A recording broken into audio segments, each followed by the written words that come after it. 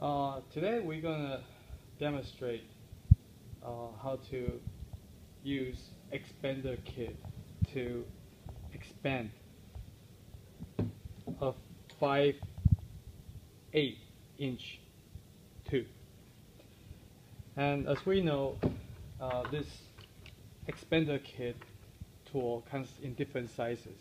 And we, today we're just going to use the 5 8 uh, to demonstrate the correct way or and the incorrect way to use uh, the result of using expander kit. Uh, this is basically very easy, straightforward tool. Um, use this expander kit, the tip of the expander head to expand uh, the tube. And a lot of people do not uh, a lot of people uh, do not know how to use this correctly, so they would uh, the result would not be uh, uh, the result will not be able to uh, you know you won't be able to use the tube if you don't use it correctly.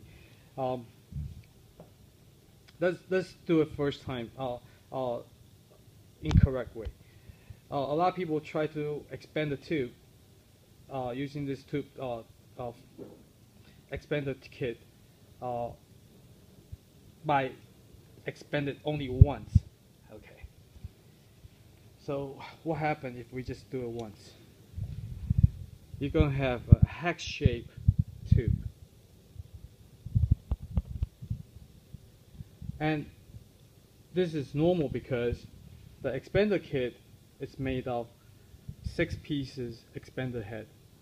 And naturally, if you only press it once, and that's it will come out like that. And to use to use it correctly, we use another way. It's by do a multiple press. I usually do it in three or four times. One fourth and turn the pipe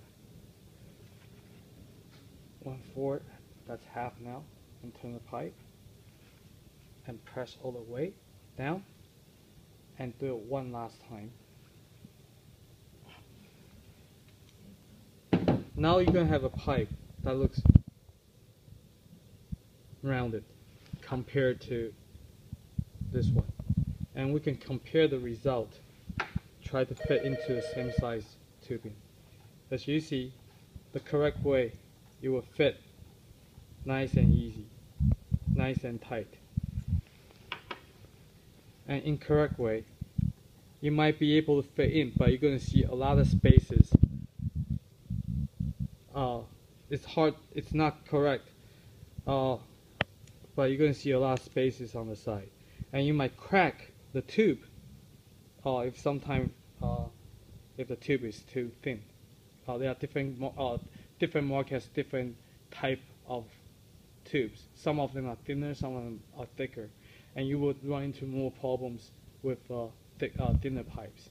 So to make a correct expander uh, expanding, you have to do multiple press to make it rounded uh, uh, expand uh, expanding.